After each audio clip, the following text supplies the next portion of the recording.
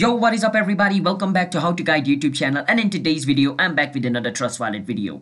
And in today's Trust Wallet video, I'm going to be teaching you guys how you guys can recover your Trust Wallet account, alright? So for recovering your Trust Wallet account, you need to know your recovery phrases. So if you guys do not know what recovery phrases is, then when you're creating your Trust Wallet account, Trust Wallet is going to give you a recovery phrase and it looks just like this. For an example, I'm going to click on create a new wallet just to show you guys what the recovery phrases looks like and like how you guys can get it. Like you guys get it when you guys are you know first making a trust wallet account. So when you guys are first making a trust wallet account they're going to give you a recovery phrase just like this.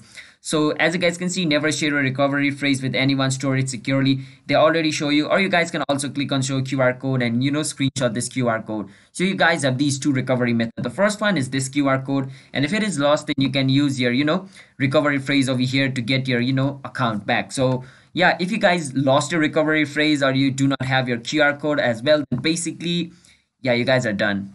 But if you guys have the qr code and recovery phrase basically what you want to do is click on i already have a wallet and click on multi-coin wallet and you want to enter your phrase over here. And after entering your phrase word to word in the correct order you want to click on import and if it is correct then you should be able to recover your trust wallet account.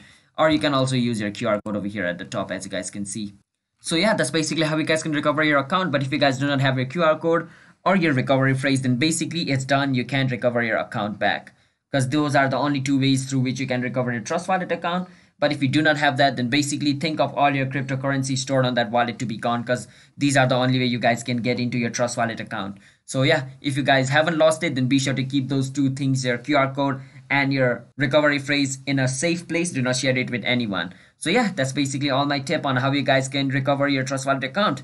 So if you guys found our video helpful, then be sure to hit that like and subscribe with notification turned on to our YouTube channel so you guys can get notified for a future video. And if you guys want to get up to $10 bonus for free for signing up into Trust Wallet, you guys can use our referral link in the description to get up to $10 bonus for signing up into Trust Wallet. And that's it for today. I will see you guys in my next video. Until then, bye bye and have a nice day.